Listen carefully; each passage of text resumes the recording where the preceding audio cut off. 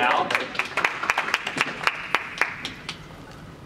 So I'm going to, uh, before we uh, start, I'm going to do the obligatory marketing section of the panel. Uh, this year, it's uh, Comixology's 10-year anniversary. Uh, Woo! we're hosting the panel since uh, Marley's Ghost is an exclusive uh, Comixology uh, release, and I'll talk about that more later.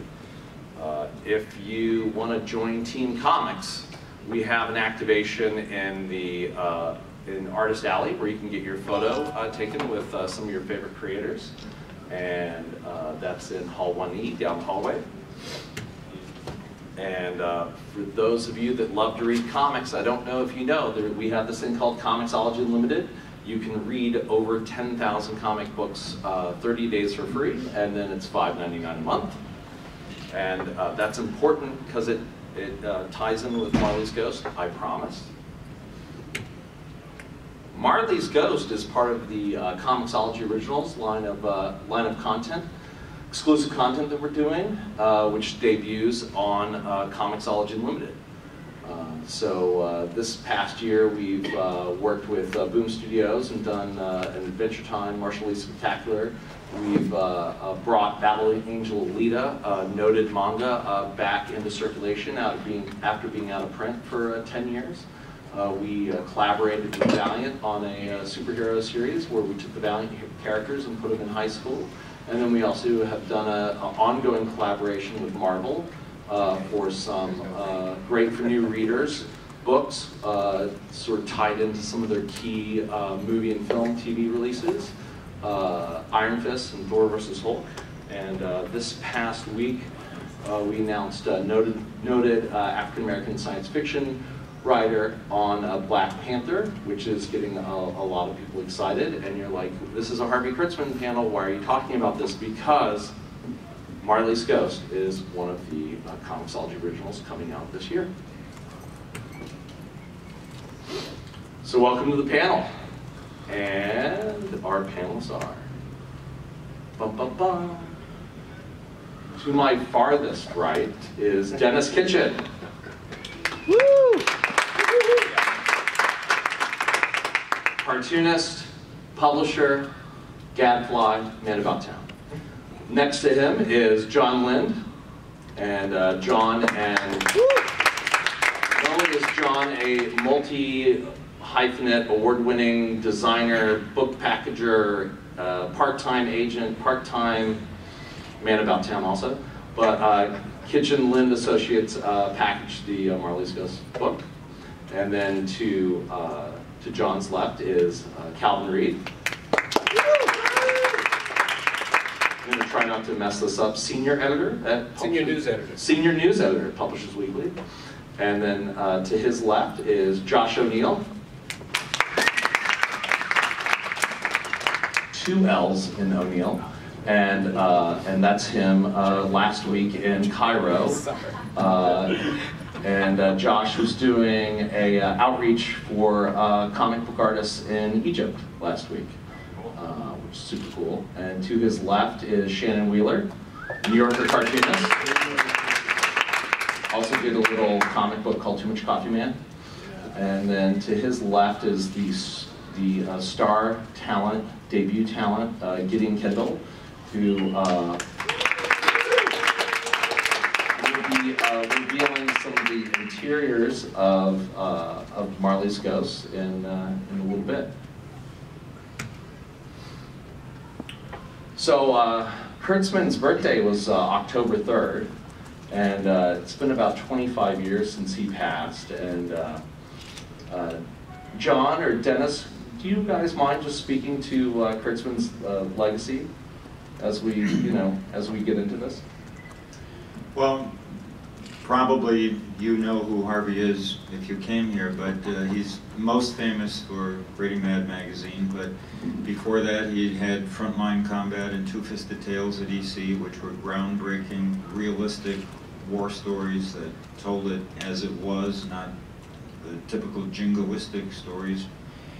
Before that, he worked for Stan Lee doing a thing called Hey Look, where he honed his comedic skills. And then later in his career, he is best known for magazines like uh, Humbug and Trump, and then Little Annie Fanny for Playboy. But early into his tenure, should I talk about the origins of Marley now? Or? Oh, we'll, we'll get into that. We'll get to that, Yep. okay. So that's, that's just a quick overview. Great, and then uh, we have this beautiful piece of Times Square that, uh, that Harvey did, and uh, putting that up. Uh, John, do you want to speak to the uh, Harvey Awards coming to, uh, to New York this year? Yeah, actually, the, um, so the Harvey Awards are officially moving to New York in 2018 uh, with the full awards show and, and a reception afterward for professionals. And this year there's a, a reception, um, what is the ballroom that it's at? It's in the Hudson Annex The Hudson 38. Annex, thank you. And um, it's kind of the kickoff. Uh, We're inducting Darwyn Cooke into the uh, Harvey Awards Hall of Fame. And um, it should be good. I add things to it. And feeding Hiro Mashima, Thank you. a noted mangaka who's uh, most well known for the uh, multi-million volume seller Fairy Tail from Kodansha. So one of the things that uh, Kurtzman uh, worked on but never completed was uh, an adaptation of A Christmas Carol, and uh, and he did all these thumbnails. And uh, Denis and John, can you uh, have I have three slides of thumbnails? Can you just talk about the background at this point? Well, for context, it's important to know the year he did this. In 1954, he was already a couple of years into MAD, which was really taking off, and he still found time to create what today we'd call a graphic novel. But in 1954, of course, there was no even concept of a book-size comic book. So uh, he was a big fan of Dickens, and uh, one of his dreams was to adapt this. These uh, thumbnails are the way he worked on every comic. EC, uh, Little Annie Fanny, everything. He started with thumbnails, then he'd work up to uh, tighter pencils. And so these are remarkable in the sense that they're his very first thought as he's planning out his page. And if you look at these very rudimentary small drawings next to the finished pages, they're surprisingly close. He, he knew almost instantly what the composition of the page should be. It's one of the brilliant things about him. There's probably nobody better in terms of composing a comics page.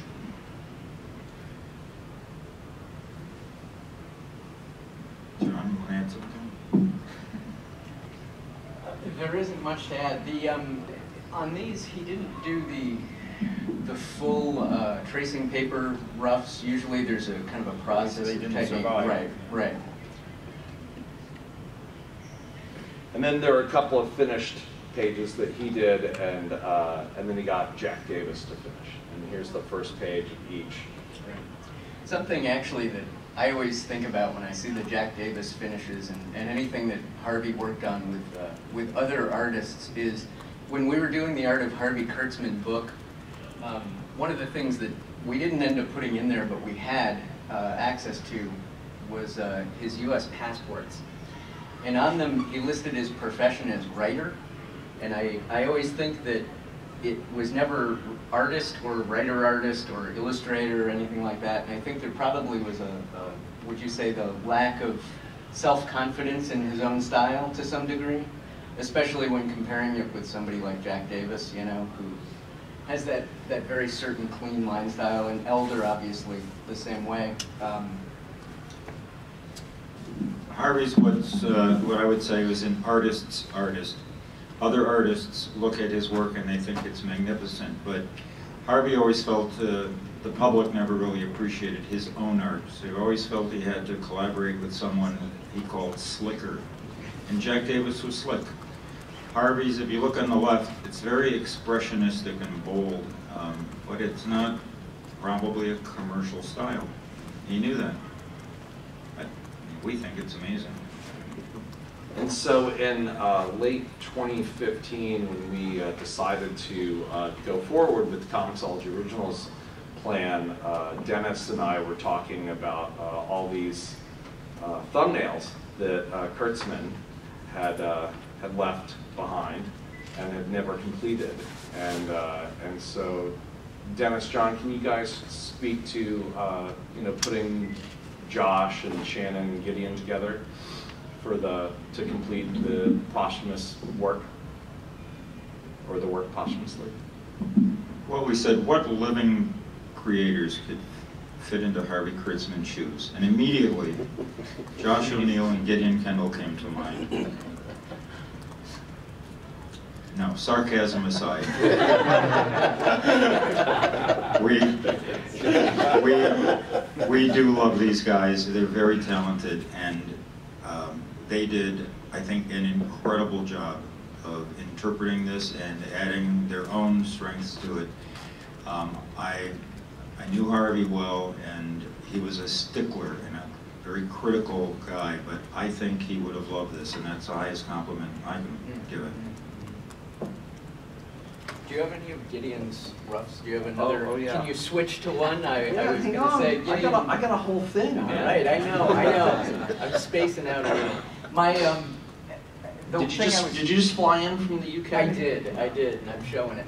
The, um, the thing I was gonna say with Gideon too is, he did a couple tests, and I think from pretty much the first one or two that Josh circulated around to, uh, to everybody, you know, it was kind of jaw-dropping, how, how he was able to take a little bit of Kurtzman's style, blend it with his own, and make it, you know, he already has a little Jack Davis in him, so it, it really uh, was a perfect uh, ability to do something that didn't feel like he was aping it, but felt like he was extending it. Um, you know, and really doing a, a justice to that that work.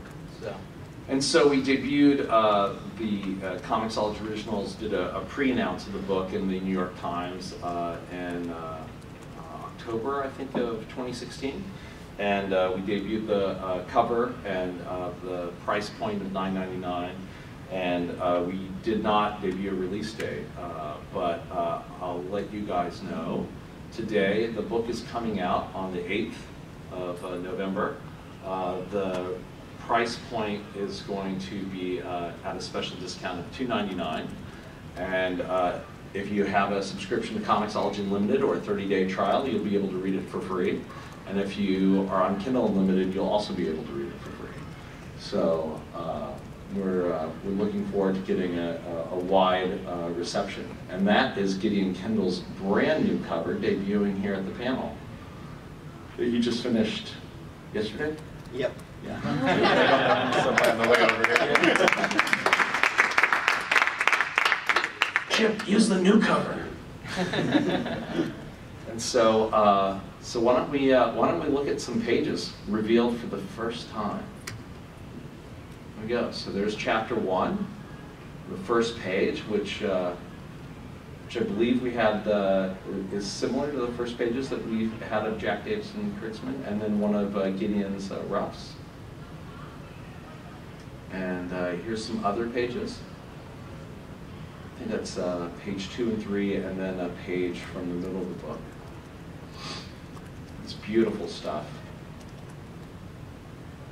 can I ask Gideon? Can you can you talk a little about your drawing process? Uh, sure. Well, you know, there was sort of two different kinds of uh, drawing processes in this book. There's the pages that. oh wow! Okay, I didn't know you were going to show that. That's, that was a central part of the drawing process. That's, that's my friend. That's my friend Lucas wearing a wearing a custom-made uh, Victorian uh, Victorian style nightgown. Uh, I, it, was, it was hard to find one to fit a guy who was six foot four, so I ended up hiring a seamstress to, to make one. And uh, it really it was it was worth every penny because I don't know if you have the, the first sketch I did of him, which is a total Jack Davis ripoff. Um, I had no idea how to draw the nightgown, like the, the folds, and, and throughout the story, I mean, Scrooge does all this acting. You know, he's on the ground, he's running, he's falling down, he's begging for his life, and I was like, I cannot draw this nightgown just out of my head accurately. So I had the nightgown made, and I had a lot of fun with my friend embarrassing him. Uh, and so, uh, yeah, and then on the left is the stack of books that I referenced slashed, ripped off slash was inspired by, uh, you know, for various aspects of the book. Um, And then, uh, you know, as far as doing the drawings, you know, there was two really distinct phases. There was the there was the, the section of the book that Kurtzman had sketched out, and uh, that only lasted, well, really, for a total of about 50 pages is what he sketched out, and uh, really by page somewhere in the 30s, the sketches really, really got simple to the point where by around page 50, he was just drawing rectangles and writing a word in it. So, uh, you know, as the book went on, there was less and less to go from uh, as far as what Kurtzman did. And that was both good and bad, you know. And, and Kurtzman's stuff is amazing and super helpful, but it was also really intimidating working from his stuff. And so in a way, once I got beyond that, uh, and once uh, Josh and I, you know, started figuring out how we were going to tell the rest of the story, um, you know, in a way it was freer, you know, but certainly that first 30 to 40 pages, you know, really set the foundation for like how we were going to proceed and tried to, you know, as best we could, you know, guess at what would have made Kurtzman happy. And Josh, what you you took lead on breaking down the uh, the Christmas Carol, and uh, so can you talk about that and the process and Well, matching it to the thumbnails and Yeah, it was it was a really interesting process because sort of a unique editorial thing because you have these two texts. You have the Christmas Carol, the, the book, and you have uh, these these beautiful roughs that are incomplete. That, like Gideon said, go less than halfway through the book, and some of them are, are really super rough. You would leave whole pages blank sometimes. Um, so it was uh, this sort of interesting challenge of going. Uh, okay, how much are you beholden to these different visions? You have you have the vision of Dickens, you have the vision of Kurtzman, and then you have Gideon and myself as like the people on the ground trying to negotiate between the two and figure out what our voice in telling this story is. Um, so it was it was really interesting trying to figure out exactly how to thread that needle and uh, how how close to hew to exactly what Kurtzman was doing, and how much to try to abide by the spirit of what he was doing. I mean, the roughs, despite being super rough, are just filled with the sort of uh, choreographic music that Kurtzman's comics uh, always engender. Um, and there's a really, I mean, there's the eight finished pages that he did, so you get the sense of what he wanted the comic to look like. But there's just like a powerful narrative voice that comes through in those roughs. So uh, Gideon and I worked very closely together, sort of uh, working It was a with. lot of fun. It was great. We Yeah. just kind of like camped out in Gideon's studio and like went through the whole book, like doing thumbnails of every panel one by one, uh, and looking at Kurtzman's roughs and going, okay, what's what's he going for here? How does this fit into the rest of the story? Um, and then as we no longer had roughs to go off, um, figuring out how to kind of continue the pacing and tone of that storytelling. Um, so it was interesting. It just felt like we were sort of in conversation with these. I mean, Dickens and Kurtzman are two of my favorite storytellers that, that have ever existed in all of human history. So it was very neat to sort of like get to posthumously collaborate with both of them in this weird way and kind of uh, act almost like as a go-between between them. Um, but it was yeah, it was fun. It was it was unique. I can't imagine another project that would be similar to what, what we did here. If I could add one, one other thing that uh, uh, was a big factor for me was uh, all the various movies of A Christmas Carol, which I started watching and taking screenshots of for reference. But what happened the more I watched the movies and kind of absorbed them and realized how they're all so different, and no one really tells Dickens' story exactly the way he told it. And there, there are, there's so many different choices that were made in the movies, and as we were trying to decipher the rest of the book and figure out a way to, you know, simplify it a bit, streamline it a bit, you know, the movies kind of gave us permission to be like, well, okay, we can play with this a little bit too, and realize that just as when they were making a movie of it, they were like, okay, this is the book, we need to make a successful movie, uh, you know, a movie story that works. We did the same thing. We were like, we need to make a comic book story that works, and so making those kind of adjustments and changes was uh, was another challenging and fun part of it. Right. And there's there's some stuff in the book that sort of just doesn't work as well visually, and you notice it gets changed consistently in almost every movie. But on the other hand, I also felt like part of Kurtzman's vision for it was that he wanted to do a really faithful adaptation. Um, and so uh, we were sort of We didn't really. yeah, we sort of steered somewhat somewhat away from that, but tried to maintain uh, Yeah. like some of the so- some of what, what he was going for. Well, there are also parts that um, get left out of most of the movies for budget reasons that that we could do Yeah. that are in the original text. Like when the Ghost of Christmas Present takes him like to a mining camp and then takes him out across the ocean, like that's perfect for comics. And so we got to do those parts, and uh, those were like some of the most fun parts. yeah, those are some of my favorite parts of the book. And then Josh, can you speak to like what Shannon did on the book and, and your collaboration with him and and uh, and how that's words. Well, yeah, Sha- Shannon's main role was to tell us to shut up. because, like, We needed it- a- again, that was another thing that was actually tricky in terms of translating Kurtzman's vision, because I think his initial vision for the book was to include a lot of, uh, if you look at his early roughs, like, he had a very caption-driven kind of approach where there was a lot of Dickens text in there. But it was just so old-fashioned and kind of read as, as leaden today, I think. Um, but I also I love Dickens so much. So there's you're reading the book and figuring out what you can plug into the story, and you get Yeah. addicted to the language sometimes. time letting go it's some just so there are these phrases that you're like, oh, it's not really necessary for the storytelling, but it's so pretty. Like you got to put it in there, and like, get it out, drop it. when it when it repeats, you have a you have an image. You're letting the the visuals are telling the story, and you don't want it to be just reiterate the words. And so that's where I was like, this needs to be cut. You don't say that he's walking down the stairs, and show him walking down the stairs. It's like, but that's something that's really shifted as we've gotten better at graphic storytelling. I think that where I think Kurtzman was really dedicated to the to the text. But it was such an unusual project that he was doing, too. I think that he was probably a little bit intimidated himself. I Yeah. Think, I think that he also, you know, he didn't he didn't finish it. He didn't. I I think we talked a lot about like wondering what he would have done if he had kept going. Like at a certain point, would he have been like, uh, you know what? I don't need all these words. Definitely. He Or, definitely would You know, because. I think also, yeah, I, I think also that you know the sketches that he did, he sketched out one of the most fun parts of the book.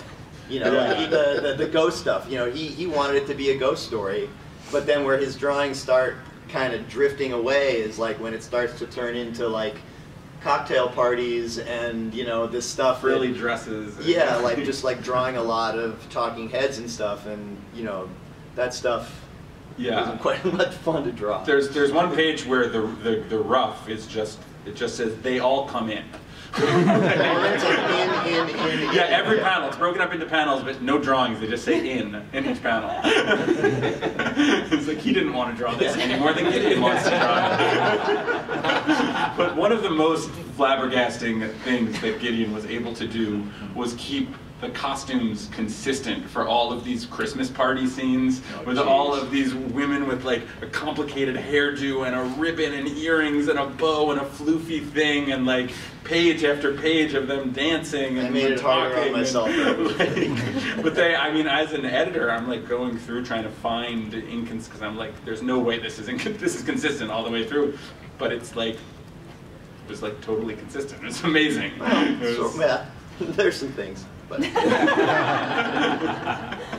It was so fun, like from a thousand miles away, to like watch you guys, you know, from bird's eye view, like collaborate and jam, and you know, I think it's such a monumental task to take someone's thumbnails that they did 60 years ago, Right. and someone like Kurtzman, who's so, you know, uh, i- is just such a, a a legend in our industry. yeah, it was And- intimidating. and totally intimidating and, and put you know the three of you which you know each one of you have uh, such different perspectives and I, I, I thought it was uh, it was fascinating to, to watch like what Gideon was bringing what you were bringing you know Shannon's you know it was Digging great out. yeah yeah it was great it was great Yeah, it was such vital editorial guidance. Like, it's easy to get drunk on Dickens' words. you need someone to sober you How up. did you keep it consistent with the drawing? Did you have little models of each hat or?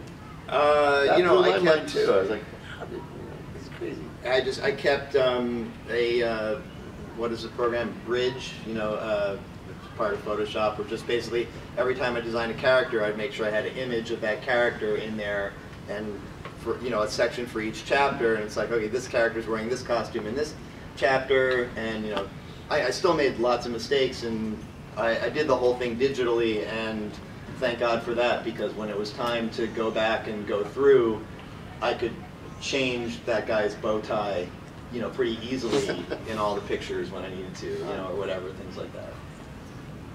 Yeah, Just a question, to- to to make sure I'm clear, was, was there some kind of script as well? No, yeah, that's what I'm, yeah, I'm sort of marveling at that as well.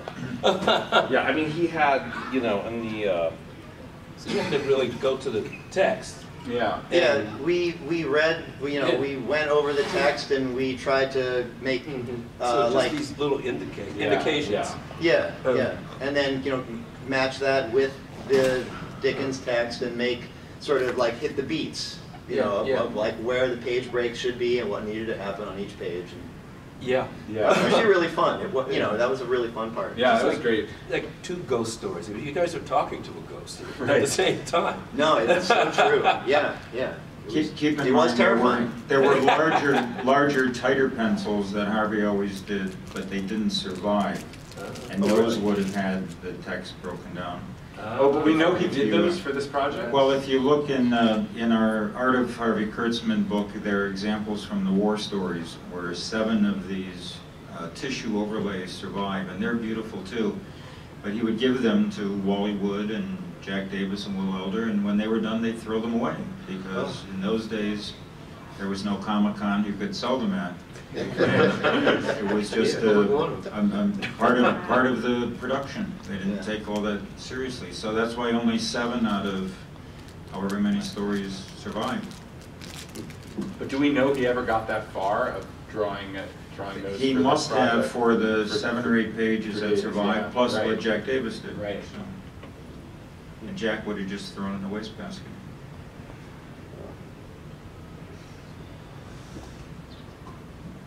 But, and then, of course, there are these eight finished, finished pages that we had, so to at least get the sense of how he was, he was trying to approach the storytelling or text perspective. And then do something totally different. Now, what, if I may ask also, uh, Denis, what's the, the full history? I mean, this was rejected, right, over and over again by, Harvey took it to this stage of the eight or nine pages, and uh, he, remember, he's got a full-time job with Mad. He made an appointment, or tried to, with an editor at Simon and Schuster. And again, remember, this is 1954. And uh, he sent a letter, that's why we know the exact date and details, and uh, tried to describe in the letter what he was doing. And the woman at Simon and Schuster clearly didn't think this was worth her time. And she said, well, you can see my assistant. So there was a young man Harvey finally got to see, and we know his name, it was Mr. Monjo. He was probably in his early 20s, an editorial assistant, and there's no record of that conversation other than uh, Harvey was rejected by a young man. And I've often thought, um, had he been a mad reader or a comic fan, the whole course of graphic novel history might have been changed. But instead, um, it was rejected. There's no record of Harvey taking it anywhere else until 1962. For some reason, he approached the Saturday Evening Post with it, because he had been doing contributions to them. They didn't know what to do with it either, and at that point, he just forgot it. Uh, and thankfully, he saved all these. But as he said later in an interview, uh, he didn't know how to sell it. In those days, no literary agent would have handled a cartoonist like Harvey. And he was not a salesman himself. Uh, He was a creator. And so that's the sad part of it. But at least it survived, and finally, these guys get to be Harvey's last collaborators.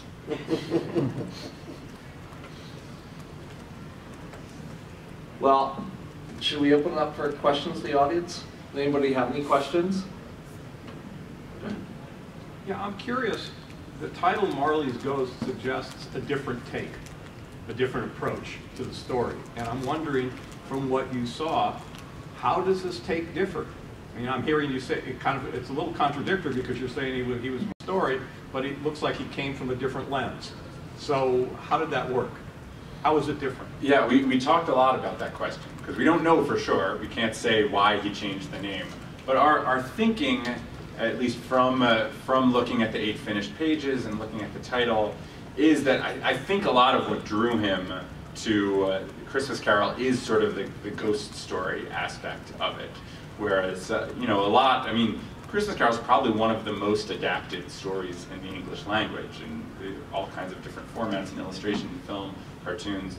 Uh, but generally, I, I feel like the sort of the creepiness of it is not not really what's highlighted. And uh, at least in the in the pages he drew, you get that the sense, the sense that's kind of what excited him. And when you see that he named it Marley's Ghost, um, I think that's and so we tried to sort of keep that with us as as this idea. We we made it a little darker and, Yeah. and moodier and Especially more more supernatural. Yeah. Yeah, in the in the fourth chapter where the ghost of Christmas future takes him to sort of the, the, the nightmare future where he's dead and forgotten. Uh, we, we really tried to make it scary. We tried to, we tried we made it very sort of hallucinogenic and put him in this in a sort of nightmare world. Um, in a way that I had not seen another Christmas Carol adaptation uh, really do. So, so like I said, we're sort of guessing at exactly what, what Kurtzman was going for with that title. It's very interesting that, that the title focused specifically on Marley. Um, but so that's how we that's how we interpreted it. So like, was there an expansion of Marley's story, the story of Jacob Marley? We did try to try to weave Marley in uh, throughout a little bit a little bit more. And than, we brought him back at the end. Yeah, yeah, which which which most adaptations don't do. Because I mean, Marley's usually a pretty small character. He kind of sets off the story and then sort of disappears and is never really mentioned again. I, Uh, I, I was just saying, put in the context of 1954 and Harvey being at EC, Harvey hated the horror stories that Gaines and Feldstein were cranking out. He hated them, and uh, I think this was his way of dealing with the supernatural in a classier way than he thought That's EC was.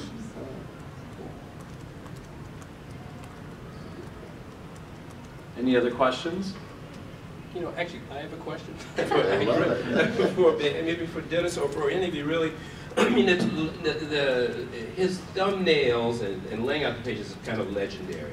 And his demand that, that artists really hew to them almost completely, as I understood and read. But I'm curious, um, I I mean, obviously, in those days, people needed to work and they were going to do what they were told. But I'm curious, did the artists fight back against this? Did they? Oh, some and did. how close did it, have, did it Um, have to be really rigidly followed? What was interesting to me was I remember an interview with George Evans years ago in one of the fanzines, and he talked about how he would argue incessantly with Harvey and fight him. And um, only some years after that that I discovered these surviving uh, tight pencils that Harvey gave the artist, and two of them were stories George Evans did. And I compared them to the published story, and it was exactly as Harvey demanded he do it. So he didn't, he didn't like to be told how to do it, but there was respect for Harvey, and they did it. One other example, Adele, Harvey's uh, widow, told me that she remembered early in their marriage when uh, Harvey was collaborating with Wally Wood, among others, and she said Wally would come to their house and very politely say, hello, Adele, and go into a room with Harvey, closed the door, and she would hear loud yelling. And finally, the yelling would subside, the door would open, and he'd very politely say, good night, Adele. Well, that's I what's so extraordinary because some of the, the, I mean, the creators that work with these are some of the most iconic names in Right. cartooning. I mean, they've got a kind of a rep too. I, I asked that same, we did a uh, panel last year with Arnold Roth and Al Jaffee. And, and I, when we were sitting around before the, the panel, I, I asked that of, um, I asked Al about it, and, uh, and he said, well, I would do cartoons and I would hand them in and Harvey would, you know, draw all over them and have me change a bunch of things and then hand it back, and he said he was almost, almost always right. And he said, you know, but it was hours and hours of changes and things like that. And Arnold Roth just kind of went, huh, that's funny. If, if he did anything to mine, I would just tell him, then don't print it, and I'd take it back. So- and it was a completely different, you know, but Interesting. yeah, so. Well, we had the advantage of Harvey being dead. so it limits your ability to exercise editorial control.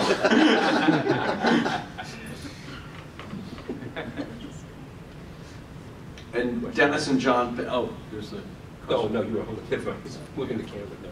So, oh, go ahead. Are there any other Kurtzman projects that aren't finished that, uh, use? Harvey's Ghost will. How?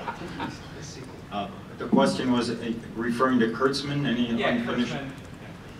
No, I would say this was the only one unrealized of substance, uh, you know. Uh, Anything else would have been not as documented as this. Yeah, if it wasn't for the existence of those of those 50 pages of roughs, or I think it was 60 pages of roughs, this project would have been a, sort of half-assed in some way. But the fact that he told so much of the story in, in his own voice gave us a lot to work off of. And actually, one other thing, if the correspondence hadn't survived with Simon and Schuster, we'd have had no clue this was as early as 1954. I think we all would have presumed it was certainly post-EC or who knows. Would have been tough to date, but it's really pretty remarkable that uh, he thought he could pull this off in that prehistoric era of comics. So Gideon, how, uh, how scared to excited? What was the, in finishing someone like Kurtzman's work, were you? Uh, it was way more scared, especially at first. Um, I mean, I uh, this was a huge opportunity and honor for me. I mean, I you know, I I made comics when I was a kid, and then I stopped for like 20 years, and so to have an opportunity to work on something like this was completely intimidating. I mean, and exciting too. But yeah, it was it was really terrifying. no doubt about it. Um, I think that you know once we got into a rhythm, and again once we were able to like, move into the parts of the book beyond his sketches, you know, because we you know we sketched the whole thing out first, and so once we were through with all the sketches, then to be able to like take stock of how we told the story, and then go back and start you know doing the pencils and everything, and try to find some way to unify everything, like then it just became about you know making the thing, and uh, I stopped being quite so terrified.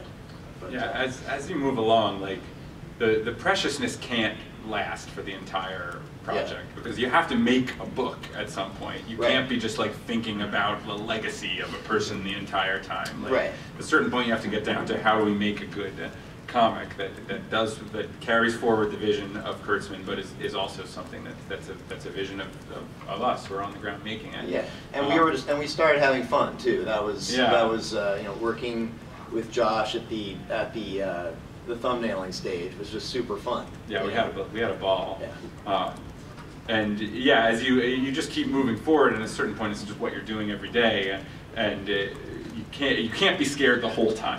like you just run out of fear. I tried. I tried. Yes, sir. Um, uh, I'm a Comixology Unlimited subscriber, so great, this is wonderful. But do you guys, are there any plans to do, um, maybe in a, with a cooperation with somebody else, or a print version of this at any point? TBD. When will it be D?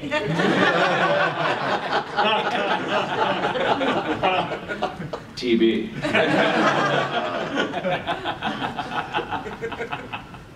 Can I quote you on that? As a member of the media? TB. Quote, unquote. TV or not TV? That is the question. Yeah, I, you know, I think the thing that I, I really, what I really enjoy about with Gideon, I think you delivered the final product this uh, couple of days ago, and I think what I enjoy most about it is, is that it, uh, it's so accessible, and I think, you know, and, and, and the project didn't let the weight of the, of it being a posthumous completion that, uh, you know, didn't, uh, you know, it, it, it- I think it's, it's more respectful to Kurtzman's legacy because it's so accessible and it's, it reads so well. And it's, uh, you know, I think, I think it will receive a wide audience. And I, I'm just really excited to, to get to that point in uh, 30 days. yeah, I mean, I I come from a children's book uh, background, and it's really awesome to not have to wait like a year and a half for the book to be out. Yeah. Go ahead. It sounds like there's a lot of fun to do this. Was there any frustrating points like working with this work that? We don't talk about this. Senior Director of Communication, Comixology, also, yeah. No, that's not in the talking points, Gideon, right? Right. No, there were elements of storytelling that were just really hard and, and, and frustrating. Like uh, parts of, uh, especially once we were beyond the parts that were roughed out by, by Kurtzman, there's, you know, it's a, it's a novel. It's not written for, for a visual, visual format. And there were things that we wanted to make sure to get across in the story that could not be directly translated from like a text to a visual format. So there was a bunch of things we definitely struggled with and tried multiple different versions of that didn't work, and there were some frustrations there. Um, but There's ultimately, also- it was we had so much fun working on it. There's also, I I think, the the original text is not like compared to some of other Dickens' uh, books. It's it's it's not like a perfect story. There's a lot of weird tangents and kind of extracurricular stuff and some like lecherous stuff and just like you know stuff that kind of feels weirdly out of context when you just read the original manuscript and so uh, th- there was some editing that had to be done to get the whole thing to to read right. Yeah, and correct me if I'm wrong, it was serialized in the newspaper and he was paid per word. Yeah, that's apparent. exactly exactly Yeah. true. Yeah. But yeah, at some And so, and sometimes that's more apparent than other, you know, some weeks he might have needed more money than others. yeah, it's true. And like at some point, you just make the transition from like fan to like technician. You know, like you're just you go from being so worshipful of these sources to just being like, okay, how do you get this car running? Like, how do you get this thing up on its Yep. feet? What do you think, Wheeler? Hannah, I should save this one for the interview, but I'm gonna ask you anyway. Um, you can do it twice. so looking looking at this from the other angle, what made this a project that was a good fit for digital and for the originals program? Because that you know you're working with an older book, uh, an unfinished book, a classic cartoonist. The first thing you think of might not be digital for it. So So Hannah's question was what made this perfect for the uh, Comixology Originals program? and for presenting in a digital format like this. Well, I, I, I was approached one night by Harvey's ghost, and uh, he said, Simon and Schuster doesn't want me, what should I do? And I said, let's There's take it this to thing called the Comixology.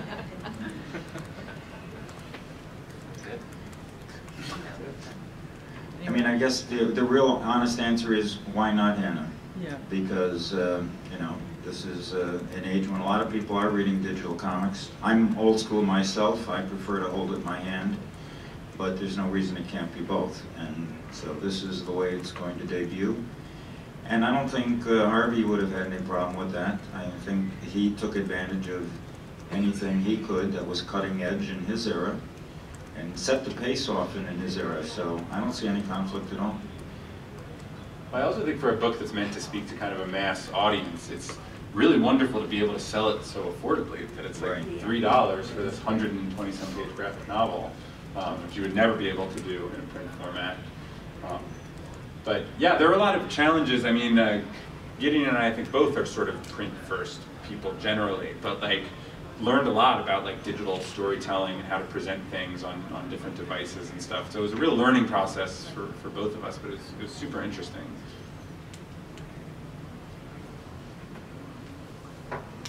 Anything else from the audience?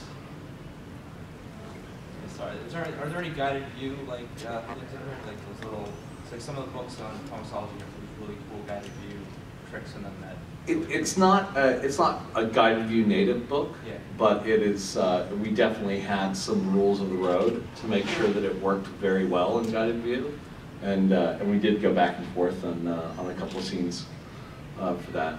Yeah. Yeah, there was a lot of conversation about how to make it work best in those like multiple formats and presentations.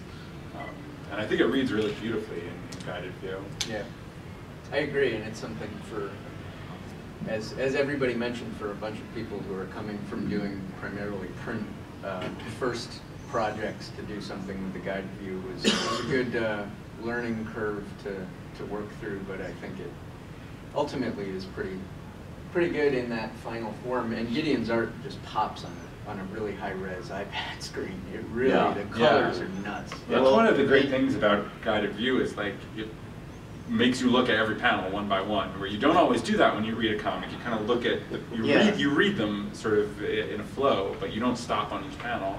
And for me, coming from an illustration background and trying to make every panel, uh, you know, be, stand on its own, you know, uh, illustration-wise in, in terms of the, the color and the line work and everything, guided view is kind of satisfying in that way because you get to see each panel as its own picture. And so even though that format uh, is uh, you know, not something I was familiar with before, uh, it's kind of gratifying to look at it that way. And creating it digitally, then reading it digitally is- translates well. Yeah, yeah.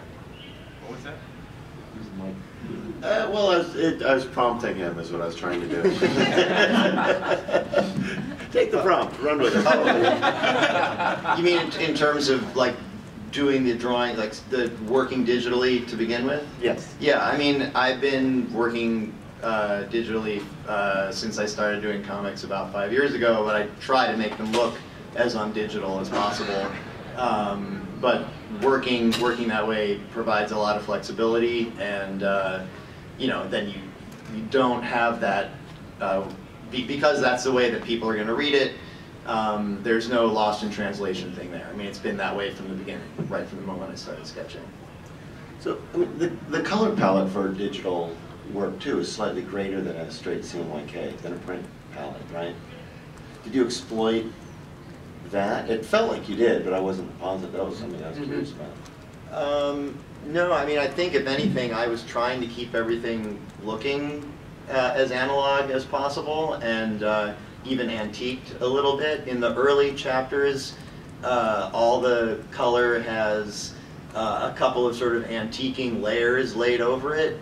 But as as the book went along, I kind of started getting rid of those because it was just too much to keep track of, and I realized I was I was overthinking it. And I think I started working that palette just into the color work itself. Um, but you know, I was trying to go for a watercolor look and avoid anything that looked specifically digital.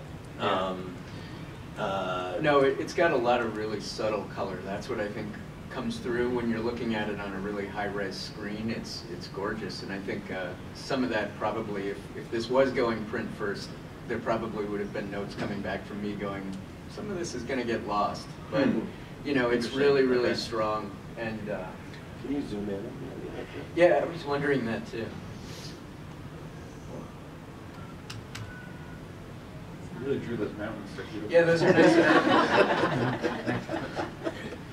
Is the Maverick?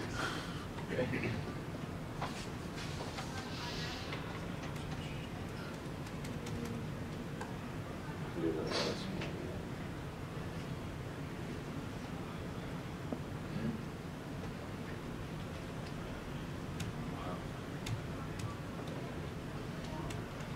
About as much as I I hate to call out one. Do you have that one you were on with Scrooge's face? It's uh, it's the one right above it. I can see the thumbnail. No, no, the the page on the side. On the previous slide? Yeah.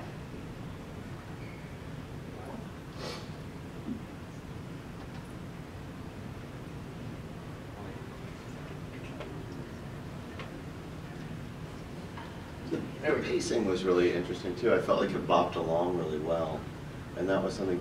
Do you feel like it was Kurtzman that you were that set that, or uh, how much did you have to shift your natural pacing in order to adopt? Or I, it happened pretty naturally. I mean, Kurtzman's pacing is amazing, uh, so that you know, that part took care of itself. Uh, again, I think, you know, we had to take some of the scenes that are a little more static and where his writing goes off on some tangents and really kind of cut those back a little bit. There's like a whole dance sequence um, and a whole uh, Christmas party sequence where they're playing parlor games and stuff. And it was like, we, those are important to the story. They show what Christmas is supposed to be about. They needed to be there.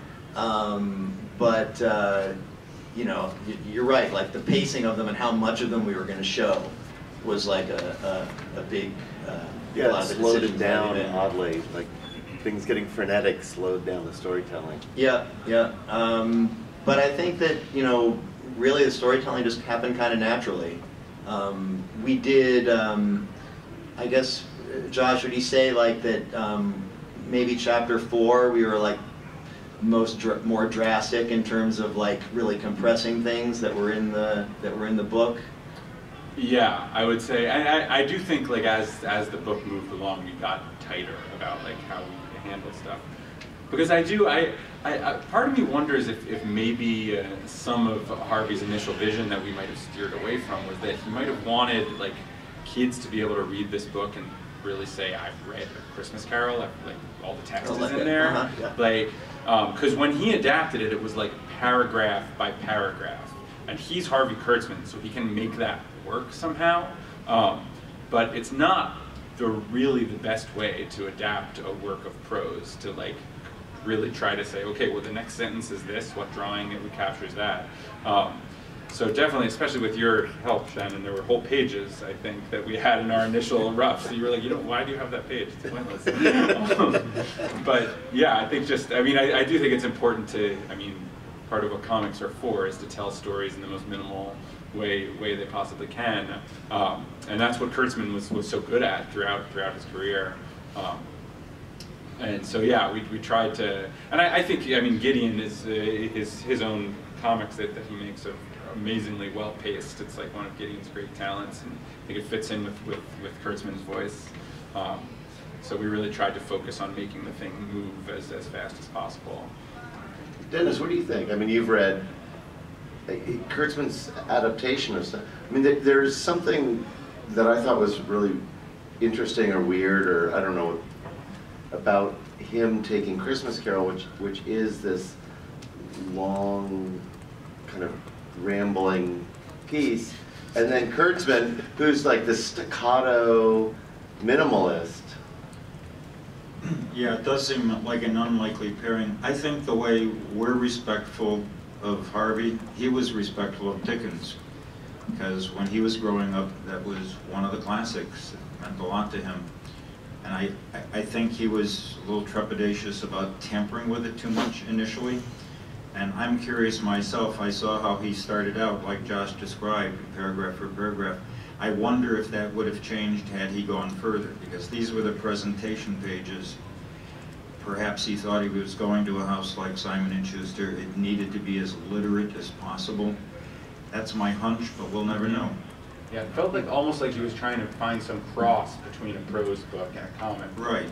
So the, the, the, the woman who was the editor at Simon and Schuster might have taken it more seriously and not wandered off on her young assistant, who was apparently clueless as to the concept. Yeah, I wonder if he wanted like students to be reading it in schools and stuff like that, and uh, thought you need Dickens' words in there to. I suspect so. Um, remember, an interesting footnote is Harvey Kurtzman's very first professional assignment was he worked at Classics Illustrated on Moby Dick. If you look at that issue of Moby Dick, you can't see much Harvey Kurtzman in, but he was doing some rudimentary inking. He was uh, not long out of high school when he did that. So um, he cited uh, those attempts, even though they're often very crude. And Crime Does Not Pay, interestingly enough, was another one that influenced him, and, uh, and people like Will Eisner in his formative years. So some of these questions, you know, we, we can only speculate. Uh, I wish I and I wish people who had interviewed Harvey had asked more about this, but we didn't know it existed. How was it When- found? Yeah, I was just gonna say. Oh. It was, uh, it was No, in his, that's what I was gonna say, how was it found? the, uh, the pages were in his attic. Um, Harvey tended to be a pack rat.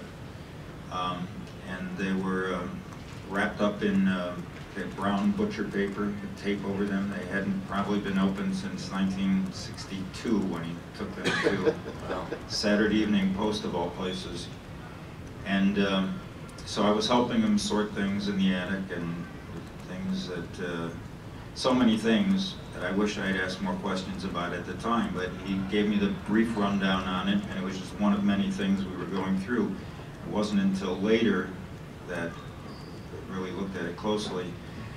Harvey was also ill at this time. He had Parkinson's disease. It wasn't easy for him to talk and articulate, if you know anything about Parkinson's. So, um, so yeah, I, I, wish in retrospect, you know, I'd even uh, given him written questions and he had taken the time and written down the answers, but it didn't happen. Well, I think we're at time, and uh, really appreciate everyone on the panel and uh, the hard work in this book, and uh, appreciate everyone coming out for the panel, and uh, be back at uh, comixology.com November 8th, and you can, uh, you can experience Marley's Ghost for yourself. Thank you.